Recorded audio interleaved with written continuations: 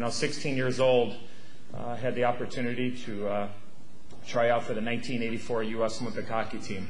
We tried to follow in the footsteps of a team uh, that won the gold medal in 1980, and I was 12 years old growing up in Chicago, and I thought someday, you know what, I'd love to, to play in the Olympics and, and represent my country.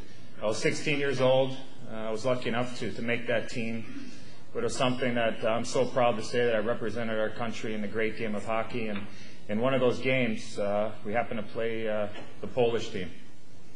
And I don't know if there's ever been a trade uh, in the Olympics, but uh, the U.S. team was offered uh, uh, 12 broken hockey sticks and a half a bag of pucks for my uh, for my rights to play for the Polish national hockey team at some time. Uh, I couldn't believe it.